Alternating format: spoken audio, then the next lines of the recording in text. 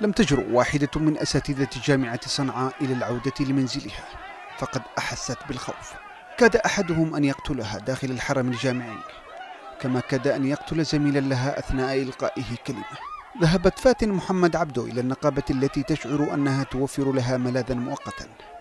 لكن ميليشيا الحوثي التي تختبئ خلف ما تسميه بملتقى الأكاديميين لم تترك مكانا دون أن ترسل إليه عناصرها.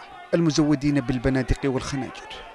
فحين اجتمع أساتذة الجامعة لمناقشة تأخر رواتبهم ثلاثة أشهر تفاجؤوا كما قال تقرير نقابة هيئة التدريس بوجود عناصر من خارج الجامعة. أتت مزودة بالأسلحة البيضاء. وحسب البيان فقد اقتحم شاب ثلاثيني المنصة موجها خنجره نحو محمد الظاهري رئيس النقابة ولم يتمكن من إصابته. وفي ذات الوقت كانت أستاذة علم النفس تتعرض لاعتداء بالأيدي من زميل لها محسوب على ميليشيا الحوثي ومعروف بتكرار اعتداءاته على زملائه. أساتذة الجامعة.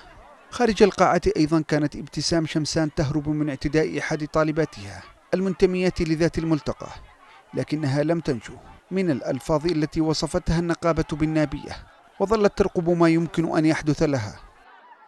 تزداد أسماء الأكاديميين الذين يتم الاعتداء عليهم وإهانتهم أمام طلابهم وأمام العدسات وأمام تاريخهم في هذا الصرح.